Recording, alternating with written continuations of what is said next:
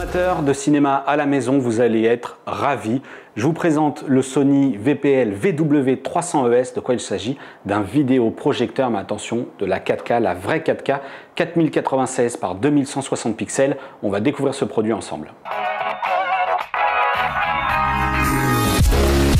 D'abord, ce vidéoprojecteur, il est énorme. Et pourtant, la lampe qui est à l'intérieur, elle n'est pas spécialement ultra lumineuse. 1500 lumens, c'est pas génial. D'ailleurs, les mesures le confirment. L'image n'est pas super lumineuse. Ce qui fait la différence, c'est son taux de contraste et sa fidélité des couleurs.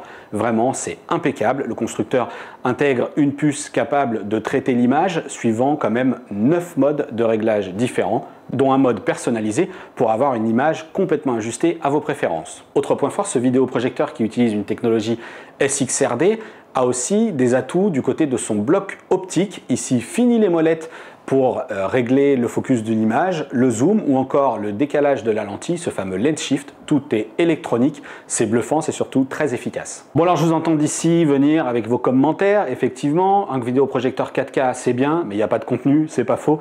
C'est pourquoi Sony eh bien, nous a mis à disposition ce disque dur avec du contenu 4K. On va pas se laisser avoir, ce sont des boucles toutes faites pour effectivement sublimer cette ultra haute définition. On va quand même tester ce vidéoprojecteur avec des Blu-ray. À l'intérieur, une puce X-Reality Pro 4K, un processeur censé améliorer, upscaler donc une image Full HD vers de la 4K, c'est propre. Mais on est bien d'accord, acheter un tel vidéoprojecteur, ça perd un peu de son sens tant qu'il n'y a pas de contenu 4K.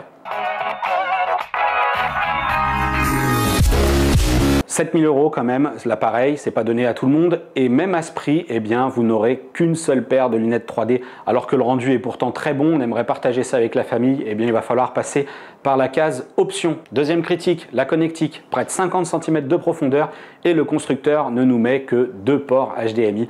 Et ça, c'est vraiment moyen.